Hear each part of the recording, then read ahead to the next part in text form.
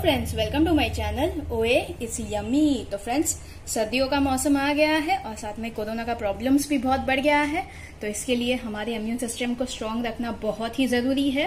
तो इसके लिए मैं लाई हूँ आपके लिए एक हेल्दी रेसिपी जिसे आप बनाओगे और खाओगे तो बीमार पड़ने के चांसेस बहुत ही कम है और आपकी इम्यून सिस्टम को बहुत ही अच्छा बनाएगी ये। तो अगर आपको रेसिपी की जानकारी चाहिए तो वीडियो के आखिर तक ज़रूर बने रहना पड़ेगा। तो चलो हम रेसिपी की शुरुआत करने जाते हैं। तो सबसे पहले मैंने यहाँ पे खजूर लिया है। और खजूर में से जो बीज है वो हमने निकाल लिए है। तो इसे हम यहाँ पे एक मिक्सर की जार लेंगे और इसमें हम सारे खजूर डालकर अच्छी तरीके से इसे हम ग्राइंड कर लेंगे।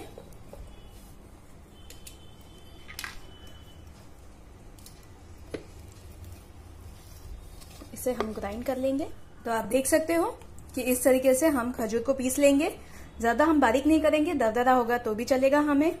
और ये आप जैसे ही इसे पी, पीसने लगोगे तो ये बहुत ही चिकना हो जाएगा। तो इसे थोड़ा आप घुमाते घुमाते चम्मच की मदद से आप इसे घुमाते घुमाते अच्छी तरीके से ग्राइंड कर लीजिएगा। तो यहाँ पे मैंने एक पैन गरम करने रख दिया है और इसमें हम डालेंगे दो से तीन चम्मच जितना देसी घी। और इसे अच्छी तरीके से हम गरम कर लेंगे।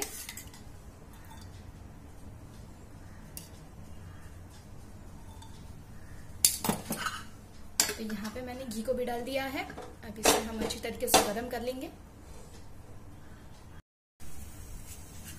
तो यहाँ पे मैंने लिया है ये खाने वाला गोंद ये करीबन मैंने दो चम्मच जितना लिया है, वो इसमें हम डाल देंगे।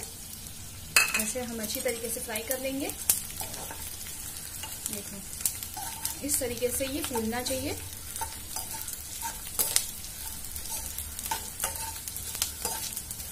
हमारा गोंद भी देखो कितनी बढ़िया तरीके से अब फूल चुका है। इसी तरीके से हमें इसे फ्राई करना है। अब हम इसे निकाल लेंगे एक प्लेट में।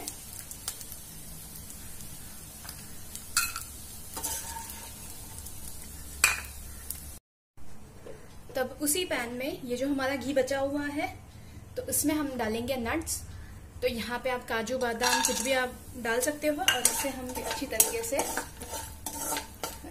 थोड़ा सा हम इसे भी फ्राई कर लेंगे।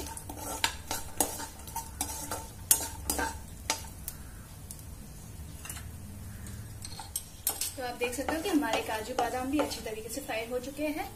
अब इसमें मैंने यहाँ पे लिया है ये नारियल, सूखा नारियल ग्रेट किया हुआ। मैंने यहाँ पे लिया है। इसे भी अच्छी तरीके से डाल के हम मिक्स करेंगे। और इसे थोड़ा हम चलाते जाएँगे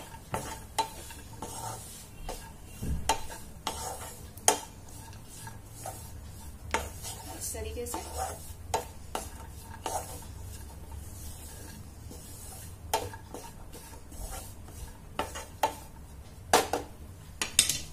अब इसमें हम डालेंगे, यहाँ पे मैंने आधा छोटा चम्मच जितना मैंने सॉल्ट पाउडर लिया है, ये ड्राई जिंजर पाउडर है तो मैंने उसमें डाल दिया है। और इसे हम अच्छी तरीके से मिक्स करेंगे।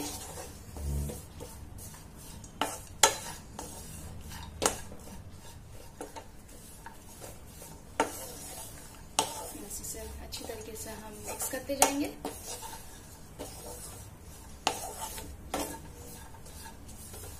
खुशबू बहुत बढ़िया आ रही है इसकी। अब इसमें हम डालेंगे, ये जो हमने पिसा हुआ खजूर था, वो इसमें हम डाल देंगे। अब इसे अच्छी तरीके से हम इसमें मिक्स कर लेंगे सारी चीज़ों को।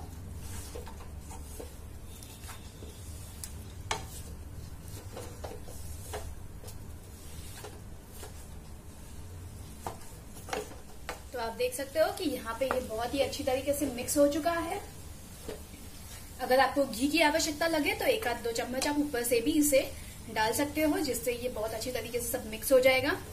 और यहाँ पे मैंने गैस को ऑफ़ कर दिया है अभी, और यहाँ पे मैंने लिया है ये गोल। इसको भी हम आखिर में डालेंगे, और इसे अच्छी तरीके से मिक्स कर लेंगे। इस तरीके से।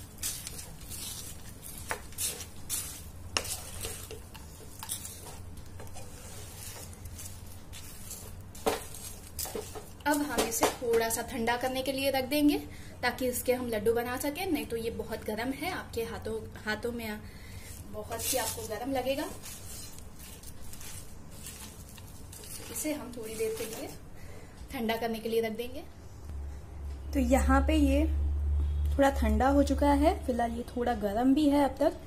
तो यहाँ पे इसमें से एक पोर्शन निकालेंगे और इसके हम लड्डू बना लेंगे, इस तरीके से गोल गोल करके। तो इस तरीके से हम सारे लड्डुओं को रेडी कर देंगे। देखो, बहुत आसान है ये। और अब इसके ऊपर हम लगाएँगे ये खसखस। यहाँ पे मैंने ये खसखस ली है। तो इसे हम इस तरीके से थोड़ा लगाएँगे और इसे हम फैलाएँगे थोड़ा सा हथेली में लेके। देखो क्या बढ़िया लड्डू हमारे तैयार हो चुके हैं? तो आपने देखा ना, हमारे ये लड्डू कितनी बढ़िया तरीके से अब रेडी हो चुके हैं। ना ही हमने इसमें चीनी यूज़ की है, ना ही गुड़ यूज़ किया है। तो भी ये कितने बढ़िया दिख रहे हैं। खाने में भी बहुत टेस्टी है और ये बहुत हेल्दी लड्डू है। तो आप इसे एक बार ज़रूर ट्राई कीजिएगा। तो अगर आपको मेरी रेसिपी अच्छी लगी हो तो वीडियो को लाइक शेयर और कमेंट ज़रूर करिएगा। और हाँ सब्सक्राइब बटन दबाकर बेल आइकन को क्लिक करना मत भूलना। Thank you for watching bye